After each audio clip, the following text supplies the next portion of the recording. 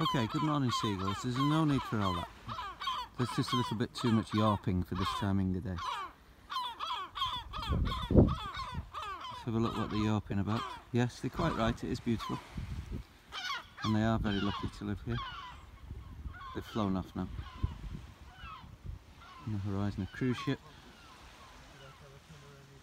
And the sunrise.